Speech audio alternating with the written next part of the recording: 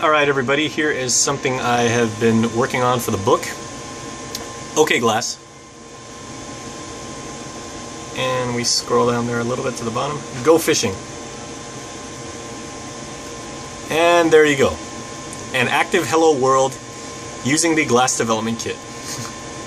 yeah, go me.